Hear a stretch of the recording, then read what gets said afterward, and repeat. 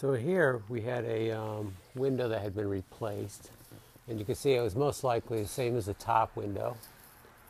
And probably when they put the kitchen in, they didn't want that long window, so they had put in this window, leaving a strange.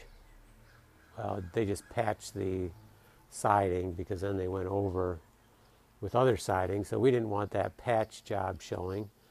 So we did a quilt pattern here to disguise it.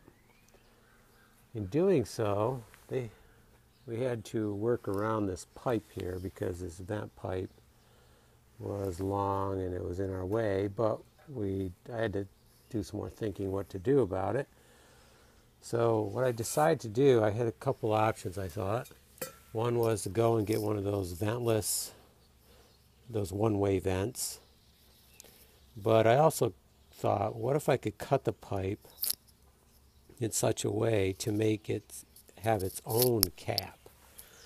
So what I ended up doing was cutting the pipe off at one level, cutting into it, and I can't really show you that now, but basically I cut a steep angle in the pipe. And then I actually cut more back in, leaving about leaving about an inch and a quarter holding it. I then filed off the edges, filed off the tips because they were very sharp.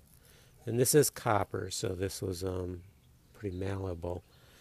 And then I gently bent it down, did some more filing, and I got it down pretty snug. Now there is, of course, air is going to go through there, no problem and people can't really shove anything in there easily. I mean, this is pretty solid. So I think it's going to work. Now, the only question would be is, did it need to be that high? You know, because the sink is up here. Could water come back through? If that's the case, then I'm going to need to cut this off and put one of those one-way valve vents in.